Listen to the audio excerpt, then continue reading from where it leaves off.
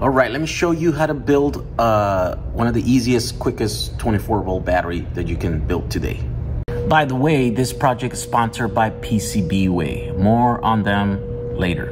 All right, today we're gonna start by using these cells right here. The LEV 60 F, I believe that's the name. A stupid name, I know. And we're gonna use eight of them to build a 24 volt battery using this uh, DIY PCB bus bar, right? So the first thing you have to do is you have to place them in the orientation that is on the board here, right? So po positive on the very end here, so we have to flip that one. And then negative, positive, negative, positive, this one is negative. I have to return it. Then positive this way. And then negative at the very end. There you go. All right, now that we have them arranged in the way we need to, this uh, connector right here is gonna be for your BMS, right? And it sticks out past the backside. You see that? So we're gonna have to use some little spacers. And these spacers, about two of them will do the trick. They look like these. Okay, so the first things you're gonna do is you're gonna position this in front of your battery there, and then this is the most positive, and then it's gonna go across like this. So you put one there, then it's gonna come down here and then go across. So you put one there, then it's gonna go up and go across, across, across, across, and then across like that. All right, and then on the edges here, you have to take one of these ones and then cut it in half and then double up like that, and then we put it in here. Also on the uh, negative side, do the same. All right, so now what we do is we put these on here, right? So we start with this one over here, then this one, then this one, then this one. The top four right here.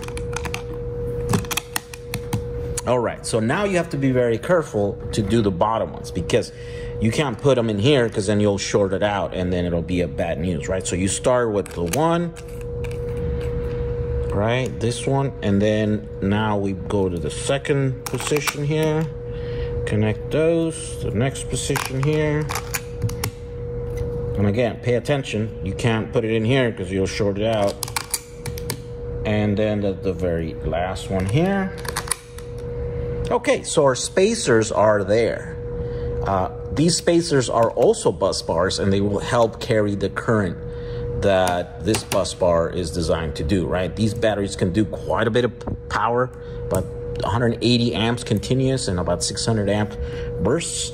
So that we need all the help that we can get. So now that you have those like that, now what we need to do is just position this in here and push it in. And it's a bit a tight fit here. There we go. Next, you just have to put your uh, M8 nuts in here and then tighten them all down and torque them and then we can test this battery. All right, and last we'll put our cables in here. This is to charge it and discharge the battery.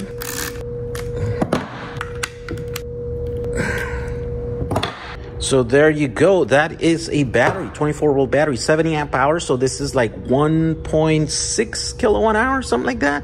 So this connector here is to use or uh, connect a BMS, right? And so if you don't know what a BMS, you can Google that. It's basically just a, a safety device that will manage your battery, will keep these cells from getting too overcharged, uh, overly discharged, or uh, overly discharged, and then also will keep them in balance, right? And so that's what these connectors goes here for. It's labeled.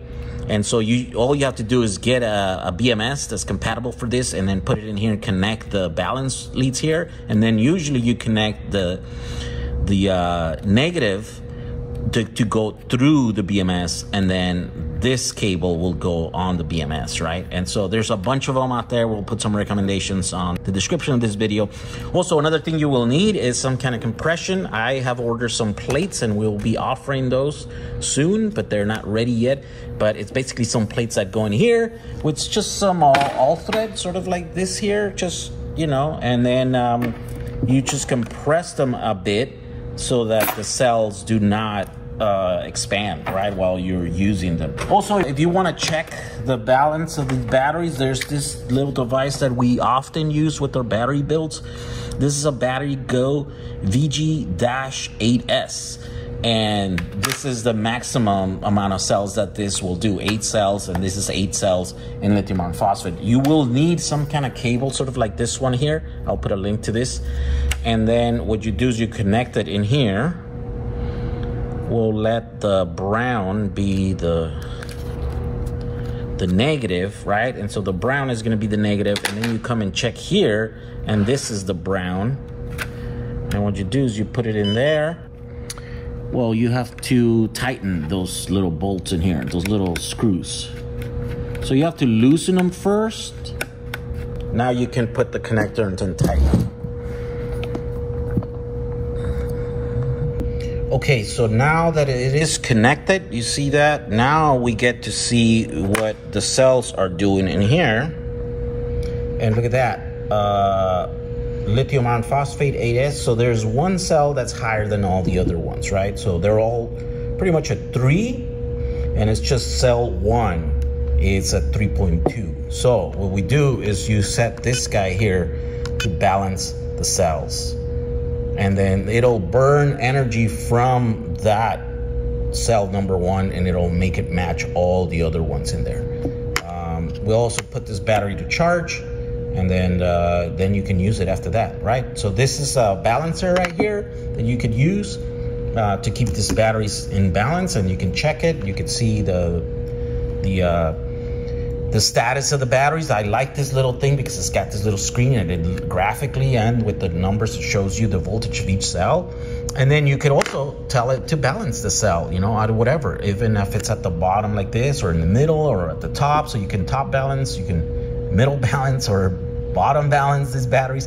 This is a very, very cool little device that is very useful, right? Uh, so this does half of the job of the BMS. The BMS does all this, but the BMS usually don't have a screen, and so they don't show you what is happening. So you're always just kind of wondering if the BMS is doing anything and if your battery is doing okay or not, right? Some there's some higher end BMSs that will uh, show you this if you have like a mobile device and you can connect via Bluetooth, or if you there's some that you can get with the extra little screens like these, but definitely they're more costly than this little guy in here, and they're harder to use and, and set up and stuff, right? So you could either go all the way or get something in the middle. There's everything. There's BMSs come in all shapes and forms, and um, I will put some in the description, including this one, so that you can decide which one you want to use with your brand new 24 volt lithium iron phosphate battery.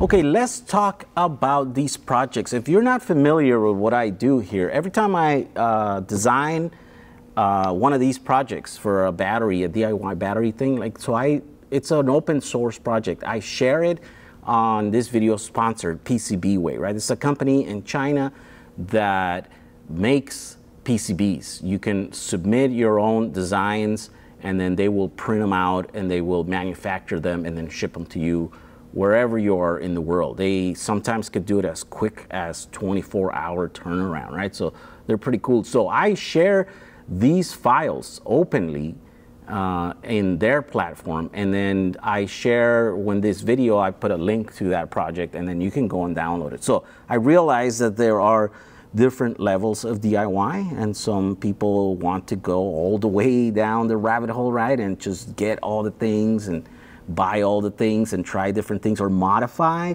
some of the projects that I'm doing here. And the having them open source like this allows you to do that. You can go and download the files and then modify them, and then re-upload them and then you can make your custom thing that you know that works off of what I've already done right uh, So also you could just download the files and the, the designs that I've uploaded just the way that they are, right? Because that's what I'm doing here. I'm testing. I'm, I'm ordering quite a bit of these things and testing and trial and erroring my way into something that works and then I finally share them, right? And so this is where this project's at. So uh, if you want to build this battery, uh, then you can just go to PCBWay here and then you can either download the file or you can order them uh, so that you can just receive your PCBs that way, right? So this is uh, pretty cool. Uh, and it's really the easiest way that I can help people that want to DIY. I'm a, I'm a big proponent of DIY, right? Like uh, you learning how to do a thing, building a thing, uh, empowers you to do it for less money, and then you know more about the, the device or the project that you're doing or the thing that you're building. And so I think that's very beneficial all the way around. I think uh, it's, it's very useful, and that's how I do everything that I do. I tend to not, you know, I mean, some things I do buy, like cars, I don't, actually, that's not true. I, I drive a DIY electric car that I built. Uh, but there are some things where I draw the line, right? But uh, usually in my life, I like to explore DIY. Uh, avenues or you know things the, the, things that I can build myself. And so that's what I like to share these. And so if you want to support me just go and build this battery right? If you could help yourself by building this battery and you can help me by supporting the sponsor of the stuff. And uh, these projects some of them are quite popular and a lot of people are building these. So sometimes the links that I put on these project pages and stuff sometimes they run out sometimes they sell out. Uh, and so yeah just keep that in mind if you when you're trying to build this thing if if you have trouble uh, finding some of the items and stuff. So there you go. This right here is currently one of the best and easiest 24 volt lithium iron phosphate battery you can DIY. Uh, depending on which route you go, which BMS you get and stuff, it's like gonna cost you somewhere around 200 to 250 dollars a kilowatt hour, right? For this one right here which you compare that to a plug and play battery that you can buy on Amazon, on AliExpress, and anywhere else, it's anywhere from like 300 to $500 a kilowatt hour, right? So this is not only fun and easy, this could save you money, right? So I wanna thank you for watching this video and we'll see you guys on the next one. Bye.